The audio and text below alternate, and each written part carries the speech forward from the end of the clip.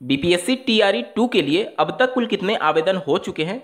Screen पर इसके regarding आप एक आर्टिकल देख पा रहे एक लाख बाईस हज़ार सीटों के सापेक्ष साढ़े चार लाख रजिस्ट्रेशन बिहार लोक सेवा आयोग यानी बीपीएससी की द्वितीय अध्यापक नियुक्ति परीक्षा के लिए सोमवार की शाम तक चार लाख पचास हज़ार से अभी, अधिक अभ्यर्थियों ने रजिस्ट्रेशन कर शुल्क जमा कर दिया है।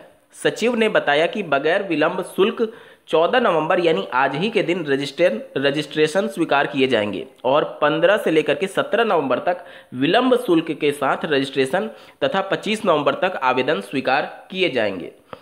पहले चरण से जो सीटें रिक्त रह गई हैं और एस सी विद्यालयों की नियुक्ति को समाहित करने पर दूसरे चरण में एक लाख बाईस हज़ार सोलह सीटों पर प्राथमिक, मध्य माध्यमिक व उच्च माध्यमिक विद्यालयों में शिक्षकों की नियुक्ति होनी है। रजिस्ट्रेशन शुल्क व आवेदन की प्रक्रिया पूरी होने के बाद ही अभ्यर्थी सात से दस दिसंबर तक प्रस्तावित परीक्षा में शामिल होंगे।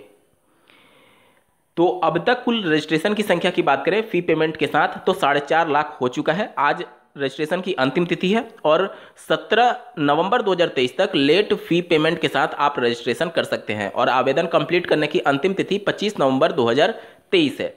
इस वीडियो को देखने के लिए आपका बहुत बहुत धन्यवाद। भगवान करे आपका दिन शुभ हो।